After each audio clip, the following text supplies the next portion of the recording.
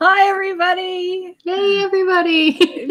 Thank dog it's Friday. Yay! Woohoo! Happy Made it through another week. Congratulations. And this is your reward.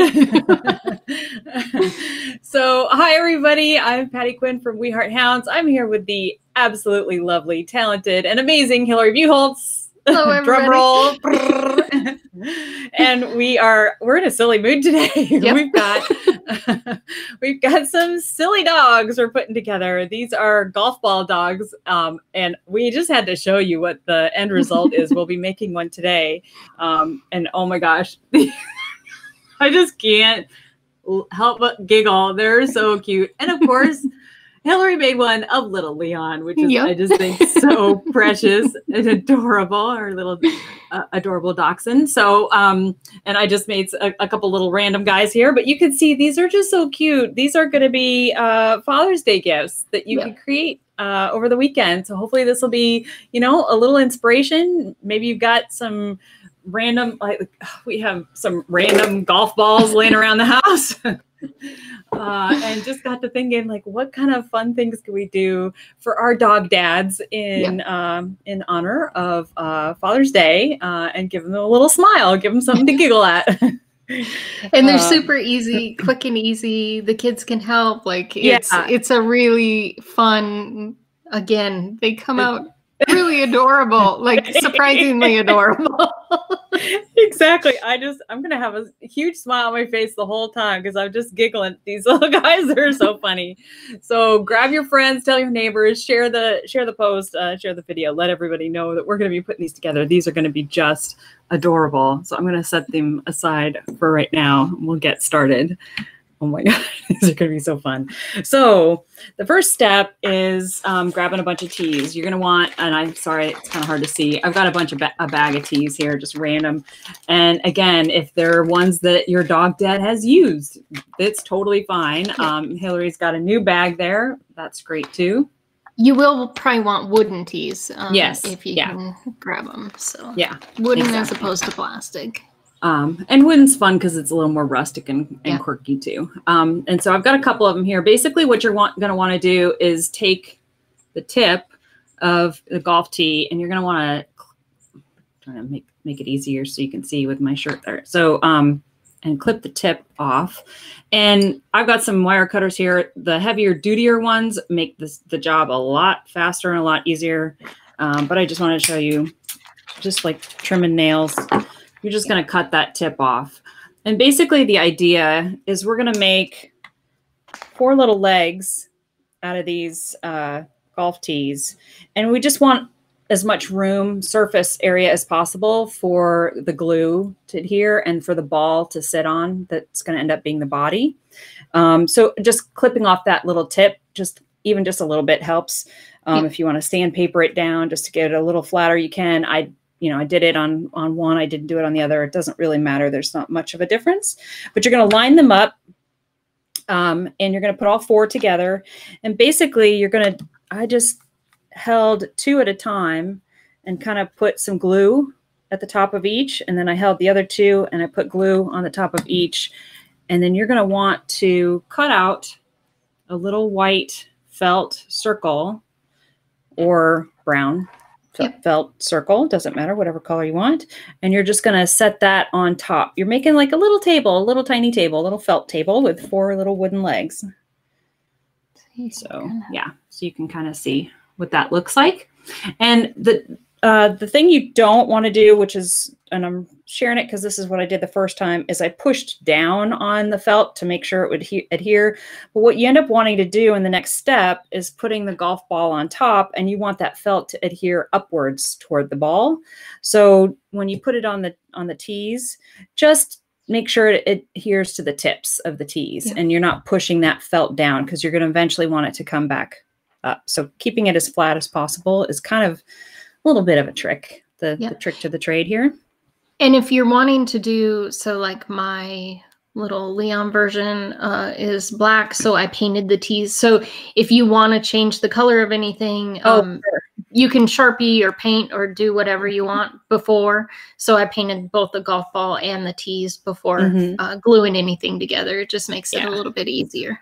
And this little guy, I used orange tees, um, but I painted the ball uh, brown, a little tan brown color. So yeah, so you can obviously mix and match or do whatever. Um, and they're really fun if you can customize them to match your doggy at home. so that's cute. So um, anyway, so we have our little table. Um, drink a little tea set here, a miniature tea set. and then we're gonna get a, uh, then we're gonna take a, a golf ball. And again, if it's one that your dog dad has used, that's great. If it's a new one, that's fine too. Um, you're going to notice there are going to be a couple of logos or um, imprints uh, words or what have you on the golf ball. And basically, you're going to want to have those be the sides where the ears are. So you're going to cover that those up with the ears. Um, I noticed some of them, um, some of mine had uh, like a third little words or saying or something on it. I actually used that third one to glue down, so I'm hiding it um, on Gotcha. that little table. Um, but just basically most of them have logos on both sides and that's where the ears are going to eventually go. So just kind of think about that when you're placing your your golf ball on the little table. And we're just going to want to make sure my glue's hot here. Just put a little dab of glue in the center of the table.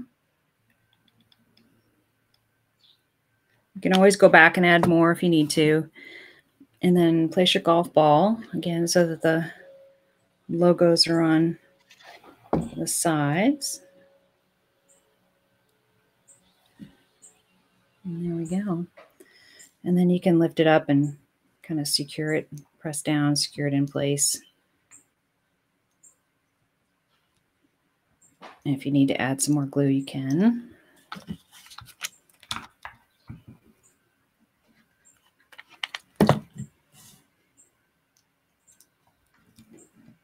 I love using hot glue for this because it dries so fast. Yeah, Um, it does make use- it a lot easier. yeah, you could use super glue, um, but it takes a little longer to dry and it'd be a, a little more challenging to secure everything quickly. I've got wonky legs going everywhere. All right. I think mine has gone rogue here. I don't know if I'll get, well, we're going to pretend that it's standing up upright. I think I glued them too close to the golf ball. Woo! Okay. So you get the idea. So we've got our little legs here. Um, and the reason that you have the felt is, um, again, it does give it some movement.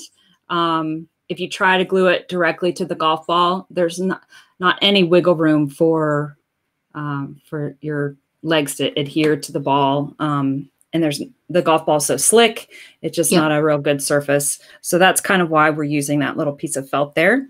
And then the next trick or the next step is to add kind of all the the fun elements, the ears and the eyes and the nose and the tail. So we'll we'll start with the ears. So you're just going to cut little teardrop shapes for for ears there and we're going to glue them to each side. We're to kind of cover up those logos. You just need a, a little bit of glue at the top. You don't have to adhere the whole thing all the way down.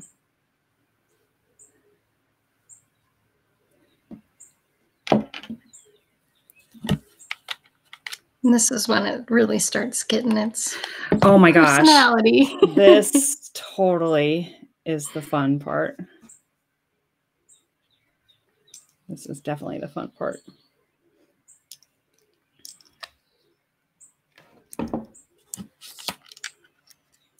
And then uh, we're going to add a little, um, another tee for a tail.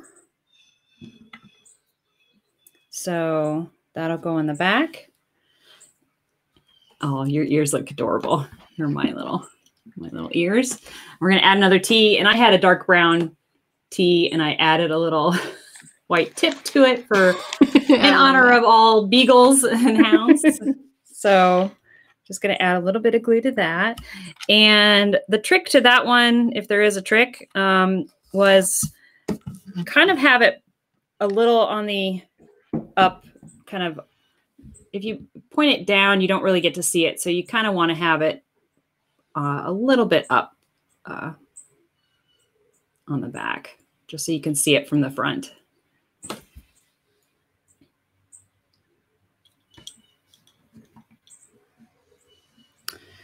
I'm going to turn mine a little bit. Let me do it. The nice part is these things can just come off and come back. Yep. You can piece them back together, re reposition them wherever you like. Okay. So got my little tail on there, my little wobbly legs. so it's coming along. And then uh, the next thing to do is grab uh, a pom-pom. So I'm using one inch. You could do three quarters of an inch or a half an inch. It just depends on what you have laying around. Hillary, show what you use. I thought that was brilliant. So for the for the Leon version, I used three quarters inch that I just Mhm. had some black pom poms, but um, for my kind of Lulu ish version, I just had this um, trim that's got Mhm. little pom poms on it. You'll notice that a lot of them have already been removed for other projects, but I just grabbed one of those, a little kind of peach one. Uh, this will be I think that's perfect. snoot area and then i have a little tiny um pom pom with like little glitters on it that's Okay. gonna be a nose piece for Okay, for this perfect. And mine's just a little a little wooden bead and a white one inch pom pom for mine. Um, for this other dog, I had a, a larger wooden bead and a smaller bead. So whatever you have around the house, um, really. you do a of- little button or i actually Yep. used um mine it looks like a bead but it is actually out of a floral like some of the floral picks that i had i Oh, just had a little like red ball that i painted black That's a great idea. Yeah, no, no, no. What I mean, this is again, this should be fun. Th- Most of the stuff should be laying around your house, right? So yep uh, or lying around your house. Okay, so now I've got my little snoot on here with my little pom pom. And then it's hard to see white on white, but there you go. And then I'm going to add my little bead for my nose. So cute.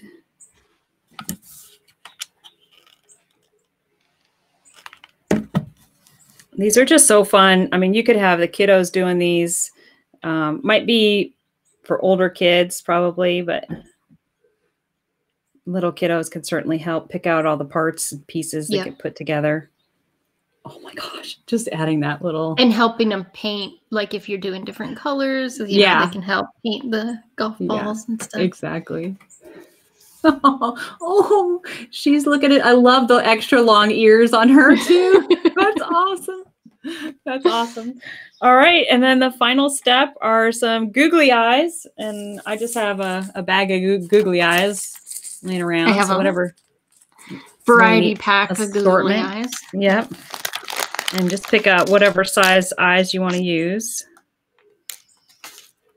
And the least amount of hot glue is all that's needed. i'm lucky mine have adhesive on the back of them so Oh, that helps. Yeah.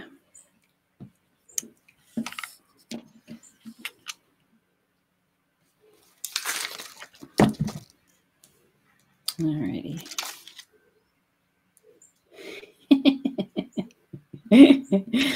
ah, these are so funny. I just love these little characters. Ah, there she is. My little girl beagle. oh, look at Lulu. That's a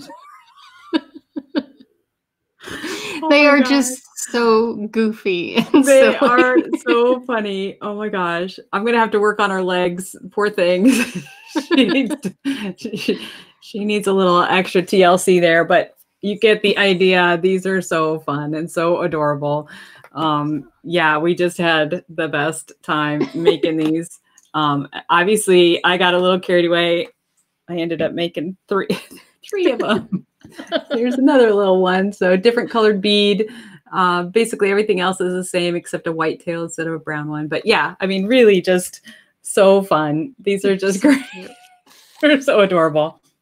So hope everybody had fun. What do you think? Like this is great, right? Oh my gosh, these are hysterical. Um, and your dog dad will just absolutely love these Yeah. for Father's Day, they will especially since it's- definitely put a smile on his Yeah, face. I yeah. guaranteed. especially since it's something that you made. That means so much more than any anything else. So, anyway, hope you guys had fun. Um, we do this every Friday. We get together with crafts and recipes and all kinds of things in honor of love for for pups. So if you know of anybody that would be interested, we have a whole library of all kinds of good stuff, other dog dad ideas from uh, last Father's Day, and all kinds of good stuff on our website. You can check out um, for gifts and stuff for dad. Um, hope everybody has a good one. Enjoy Pamper Dad this Sunday. Hope he has a great day um, and hug your pups for us. Yeah. Have a good one. Thanks, everybody. Take Bye-bye. care. Bye bye.